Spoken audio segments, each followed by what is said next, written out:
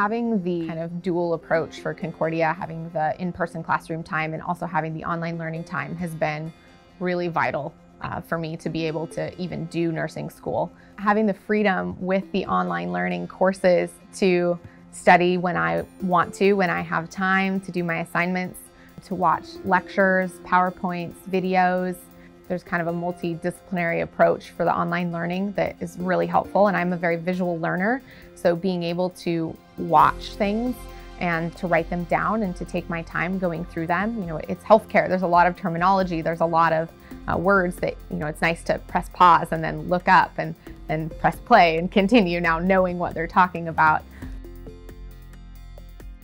I pick a couple days out of the week that I do all my schoolwork. I don't usually um, spread it out so much because uh, it's nice to have a little mental health break in there since this is an accelerated program. Give yourself rest days. That's really important each week you really have to be intentional about your time.